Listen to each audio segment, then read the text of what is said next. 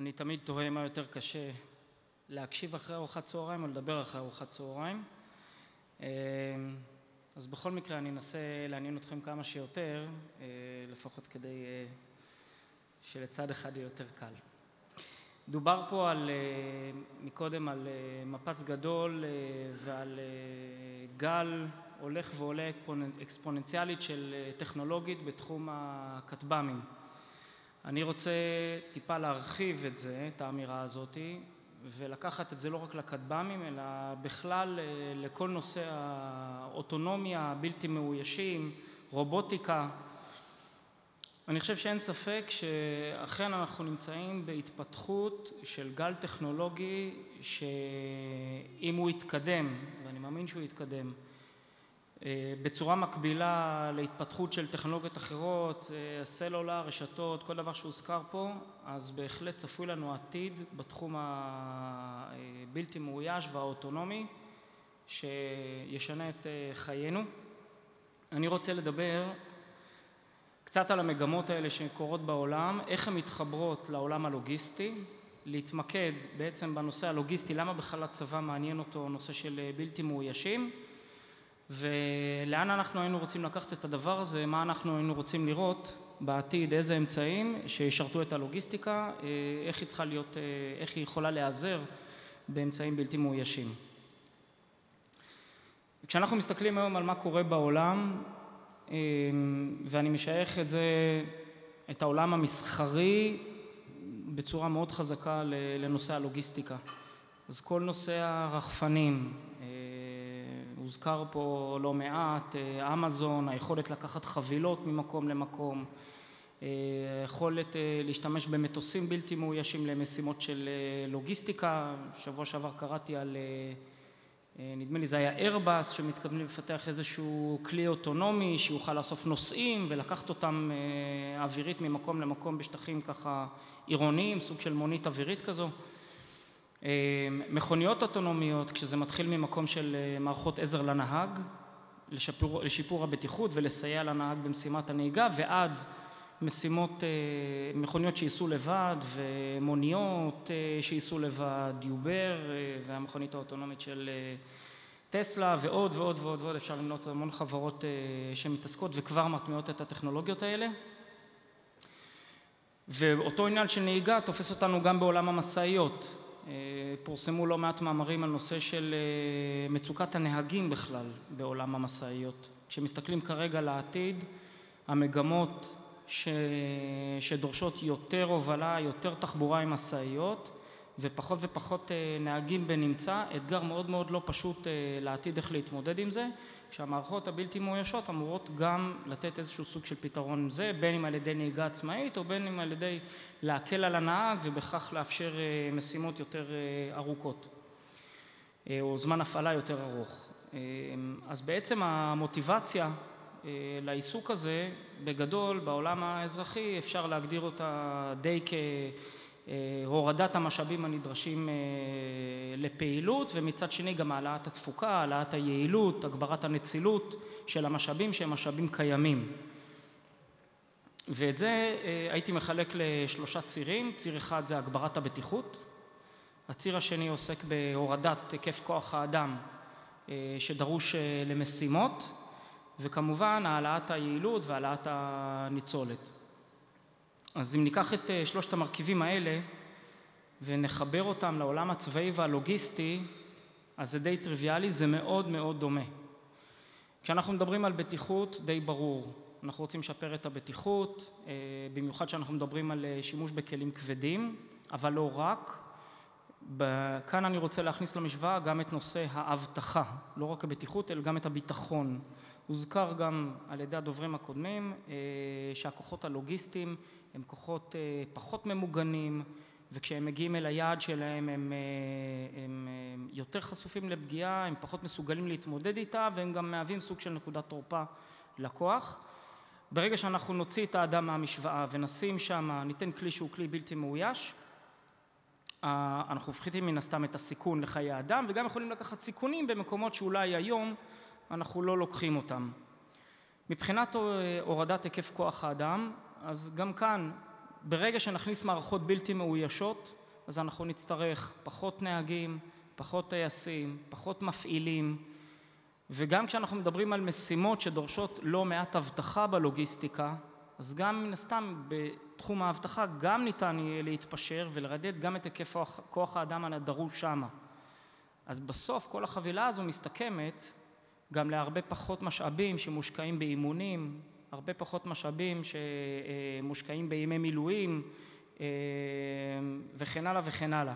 זמן הכשרה יכול להיות, יכול להיות קצר יותר. ומכאן המוטיבציה די ברורה מאליה להכניס גם את המערכות האלה לעולם הלוגיסטי הצבאי, שהוא די מקביל למוטיבציה שקיימת באזרחות. אבל לא זו הבשורה. הבשורה נמצאת להבנתי במקום אחר. לפני שאני אדבר עליה, אני רוצה רגע לדבר על שדה הקרב העתידי. או זה כבר לא עתידי, זה כבר, זה כבר פה עכשיו. ואיך השתנה שדה הקרב. שדה הקרב הקודם דיבר על צבא מול צבא, חזית של צבא מול חזית של צבא, כשהכוחות הלוגיסטיים נדרשו למלא מחדש את הכוחות, קודם כל הם היו פחות או יותר באזור שהוא באופן יחסי ממוגן, היה הרבה יותר קל להגן עליהם, יותר, יותר קל להתעסק איתם, אבל כשאנחנו מסתכלים, ודרך אגב כל הכוחות הלוגיסטיים ברוב צבאות העולם בנויים על התפיסה הזו. כשאנחנו מסתכלים על המצב הנוכחי, קחו לדוגמה, בתמונה אתם יכולים לראות את הפיזור של כוחות דאעש בסוריה. כבר לא מדברים על חזית, מדברים על אויב שנמצא פזור בשטח, לא תמיד יודעים בדיוק איפה הוא נמצא, לא תמיד יודעים לזהות אותו, יכול להיות שחלפת על פניו כשהוא היה לבוש בבגדים אזרחיים ואפילו לא זיהית אותו כאויב ושעה אחרי זה או יום אחרי זה הוא פתאום משנה את פניו והוא הופך להיות אויב. כל זה מביא אותנו למצב שבו הפעילות, פעילות הלחימה נתבצעת במקום שבו האיום הוא איום כדורי, בעצם הכוחות שמתמרנים זה כמו לעבור בצנצנת דבש. הם עוברים והאיום סוגר עליהם מכל הכיוונים, קשה מאוד להחזיק צירים פתוחים ללוגיסטיקה. איך הדבר הזה משפיע על הלוגיסטיקה? אז בעצם שדה הקרב והאופן שבו הוא מאורגן בעצם מגדיל בצורה משמעותית את האיומים על הכוחות הלוגיסטיים ואת הפגיעות של הכוחות הלוגיסטיים. הכוחות הלוגיסטיים זקוקים להרבה יותר והרבה מאוד אבטחה כדי להגיע, המס... כדי להגיע אל הכוח המתמרן. זה דורש לא מעט משאבים מכוחות שאמורים לטפל באויב וזה דורש לא מעט קשב מאותם מפקדים שאמורים לנהל את הקרב ועכשיו הם צריכים להתעסק באיך הם מביאים בכלל את הכוח הלוגיסטי ואיך הם דואגים לאספקה לכוחות שלהם לצורך המשך הלחימה. הצוותים הופכים להיות יותר קטנים, צוותי הלחימה, אלה שצריכים לתספק אותם, יותר קטנים, יותר מפוזרים בשטח, מאוד מאוד ורסטיליים, כוללים הרבה מאוד כוחות ועם הרבה מאוד צרכים שונים וזה דורש את הלוגיסטיקה לתת מענה מתאים. וכמובן עכשיו הלוגיסטיקאים שמראש ההכשרה שלהם והיכולת שלהם ברמת לחימה היא נמוכה יותר צריכים לעבור הכשרה קרבית כדי לדעת איך להתמודד עם כל האיומים שהם ימצאו אותם ויפגשו בהם בשטח ולכן באגף הטכנולוגיה והלוגיסטיקה בזרוע היבשה בצה"ל הוגדרו מספר אסטרטגיות שאמורות לקחת ולשנות את פני הלוגיסטיקה ולהתאים אותה למול המצב האיומים הנוכחיים. אנחנו מדברים על הקטנת החותם הלוגיסטי, הלוגיסטיקה בשטח צריכה להיות הרבה פחות מורגשת ממה שהיא היום.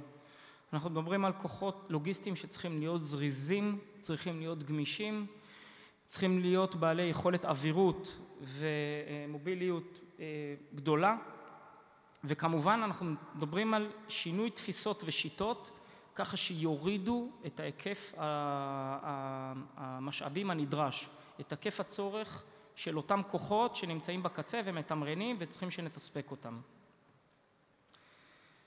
אז בואו ניקח את האסטרטגיות האלה ונדבר רגע על ההזדמנויות שיש בעולם הבלתי מאוישים שמשרתות את אותן אסטרטגיות. ברגע שהפכנו ועברנו לעולם הבלתי מאויש, הוצאנו את האדם מהמשוואה. הוצאנו את האדם מהמשוואה, אז אוקיי, חלק מהמקרים הגדרנו את הבטיחות, הורדנו את היקף כוח האדם והגדלנו את היעילות, כי עכשיו אני לא צריך ארבע שעות מנוחה ואני לא צריך עוד כל מיני הפסקות כאלה ואחרות, הרובוט יודע לפעול באופן רציף. אבל יש עוד הרבה מאוד דברים אחרים שיש, שהבשורה הזו מביאה. אני אדבר רק על אחד מהם כדוגמה, אני מניח שניכנס לעולם הזה אנחנו נגלה עוד הרבה מאוד. אז אני רוצה לתת כדוגמה את הנושא שברגע שהוצאנו את האדם מהמשוואה אפשר להתחיל לדבר על במונחים של שימוש בהרבה מאוד כלים קטנים כי כל כלי כזה לא צריך נהג ולא צריך טייס ולא צריך מפעיל אז אפשר לחשוב במונחים של הרבה מאוד כלים קטנים. הדבר הזה בעצם מאפשר לנו לשנות את התפיסה, את התפיסה של איך אנחנו תופסים את המנה הלוגיסטי ולעשות בו שינויים שהם מרחיקי לכת וזה מייצר לנו אה, מגוון של הזדמנויות. בואו נניח רק לשם הדוגמה ופה ניקח גם דוגמה אחת שאנחנו יכולים באזור האחורי הממוגן היום לשים איזשהו מחסן לוגיסטי שממנו יצאו כלים בלתי מאוישים במנות קטנות שיודעים להגיע ישירות אל הכוח שצריך את האספקה. אני לא צריך לעבור בתווך הפיקודי, הגדודי, אה, אה, האוגדתי, החטיבתי וכולי. אני יודע לפגוש ישר את הלקוח שלי מאותו מחסן באמצעות נאמר רחפן שידע לקחת ולהגיע. אז אפשר להתחיל לדבר במונחים של לוגיסטיקה במנות קטנות, לא במנות גדולות. אפשר לדבר על זמן תגובה מאוד מאוד קצר. זאת אומרת, אם היום אני צריך לאסוף את כל הצרכים של הכוחות עד רמת המטכ"ל, ולאחר מכן לתת להם הקצאות, כל התהליך הזה יכול לקחת 24-48 שעות עד שמישהו העלה בכלל דרישה, מזמן שהוא העלה דרישה עד זמן שהוא קיבל אותה. אז אפשר, אפשר, אפשר להתחיל לדבר על לוגיסטיקה בקבועי זמן קצרים. זה מביא אותנו גם למקום של just in time במקום just in case. זאת אומרת, היום בגלל, אם אני קצין לוגיסטיקה בשטח ואני צריך להזמין לוגיסטיקה ואני יודע שהיא מגיעה לי בעוד יומיים, אז חלק מהדברים, מטבע הדברים, אני מזמין אותם just in case. אז אפשר להתחיל לדבר על just in time, כי אני יודע, אם אני היום נמצא בשטח ואני קצין לוגיסטיקה ואני יודע שאת מה שאני רוצה אני אבקש ואני אקבל בתוך שעה, שעתיים, שלוש, חמש שעות, אז אני יודע לבקש את מה שאני צריך ורק את מה שאני צריך. זה מביא אותי לנקודה האחרונה, למשל של הורדת, ה, אה, הורדת הדרוש. אני יכול להתחיל לדבר איתכם על אה, שימוש בצנרת, פריסה של צנרת דלק, פריסה של צנרת מים, במקום להכניס מכליות. אם תהיה לי מערכת אוטונומית שתדע לקחת צינור דלק ופשוט גמיש כזה ולפרוס אותו ולהיכנס לעומק השטח ולתת מענה אז אני לא צריך להכניס מכלית וכמובן אני חוזר לדוגמה שדיברתי על מחסן אז אני יכול לתת מענה מרחבי. זאת אומרת אני לא נותן לכל כוח את כל הלוגיסטיקה שהוא צריך משום ששם יש בכל כוח יש יתירות. הסכום של היתירות הזאתי מביא אותנו למצב שבו אנחנו לא יעילים. בסך הכל יש הרבה מאוד יתירות, אבל אם את היתירות הזאת אני מרכז במחסן אחורי, שממנו אני מוציא את הלוגיסטיקה, אני יכול לצמצם באופן משמעותי את, ה, את, ה, את היתירות. אז מה בעצם הערכים המוספים של, ה, של האירוע הזה? כמובן, הפחתת הסיכון בצורה משמעותית. שתיים, הפחתת המלאים. את, אם צמצמתי את כל היתירות, אני יכול להפחית את המלאים. אני מחזיק מלאי בשביל לתת אותו just in time, לא לתת אותו just in case. וזה מאוד משמעותי, הפחתת המלאים בסוף זה, זה, זה מאוד מאוד משמעותי גם כלכלית לכל, אה, לכל צבא שהוא. והדבר השלישי זה שאני מרחיק את הנכסים האסטרטגיים שלי, הלוגיסטיים, משדה הקרב. זאת אומרת, יש גבול כמה מטוסי תובלה אה, מדינה יכולה להחזיק, יש גבול כמה משאיות היא יכולה להחזיק, עצם העובדה שאני לא מכניס אותם לתוך אזור שרוב הסיכויים שהם ייפגעו בו, אז מאפשר לי לשמור על הנכסים הלוגיסטיים שלי. אם אני יודע לקחת היום מטוס ובמקום להנחית לוגיסטיקה מעל הכוח עם סיכוי מאוד מאוד גבוה שהוא ייורט עם טיל כתף, במקום זה אני יודע לעשות את זה מטווח של עשרות קילומטרים מגובה רב ולשלוח אליו איזשהו מצנח שבאופן אוטונומי יגיע אל הכוח אז שמרתי על הנכס האסטרטגי שלי של המטוס, שהוא המטוס. אני יודע להשתמש בו עוד ועוד ועוד ועוד ועוד בלי לסכן אותו, בלי להביא אותו למצב של סיכון. ויש עוד כהנה וכהנה ערכים מוספים מהדבר הזה. אני רוצה רגע לדבר עכשיו בעצם על אה, ארגז הכלים הלוגיסטי ולאן אנחנו רואים את הדבר הזה הולך, מה אנחנו היינו רוצים לראות בעתיד. אבל לפני זה הסבר קצר על אה, איזשהו שינוי אחר שקרה בלוגיסטיקה, בתפיסה הלוגיסטית ביבשה. עד היום בלוג... הלוגיסטיקה התבססה על רעיון השרשרת. אנחנו מספקים אמצעים מרמת המטכ"ל, לפיקוד, לאוגדה, חטיבה, גדוד וכן הלאה, עד המשתמש. כאשר כל גורם, כל יחידה לוחמת, יש לה את הגוף הלוגיסטי שלה עם השרשרת הלוגיסטית שלו.